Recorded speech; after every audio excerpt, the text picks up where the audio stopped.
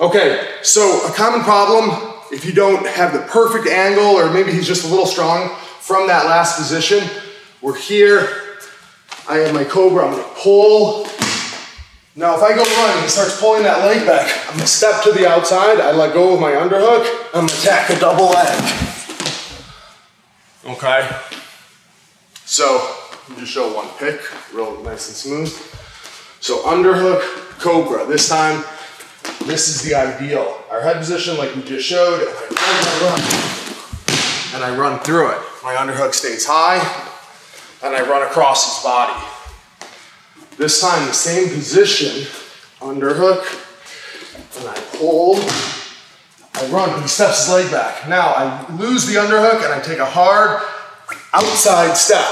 See my chest is on his leg. I transition here, I'm gonna circle out, control his hips, and I'm on top. Okay?